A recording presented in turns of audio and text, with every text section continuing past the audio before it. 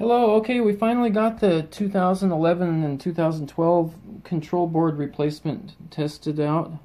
So here's the the controller with the case on, and here's what it looks like with the case off. See, that's the board.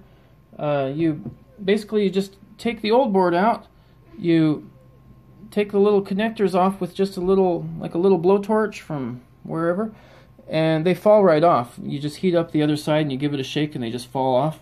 And then you just solder them on to the new board.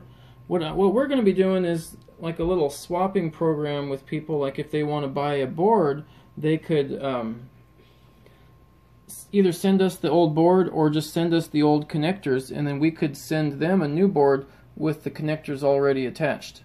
That'll be an option for you if you want to do it.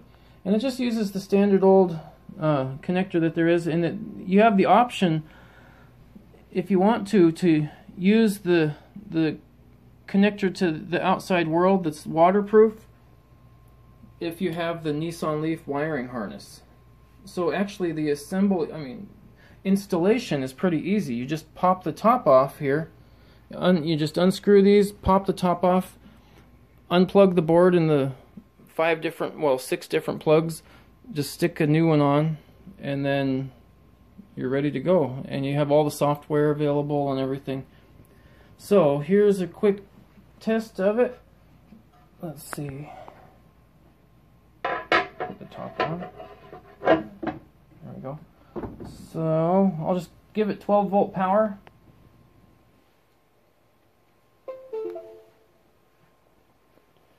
And it, it can handle it can deal with the pre-charge sequence too like it deals with the pre-charge contactors and also the contactors that are outside of the controller.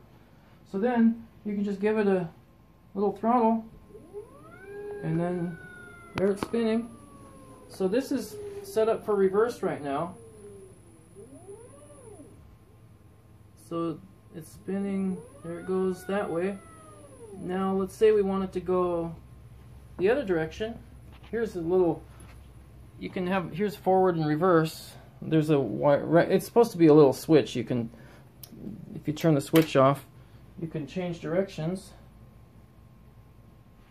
See now it'll spin the other way.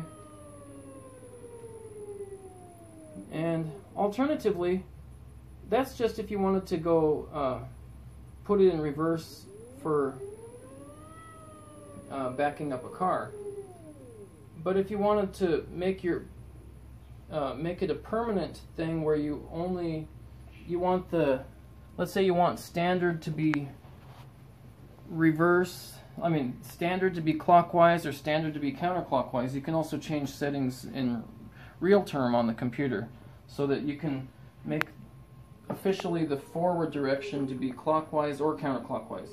And then in addition then the forward and reverse would just be the opposite of whatever the uh, clockwise or counterclockwise is. Don't know if that's confusing.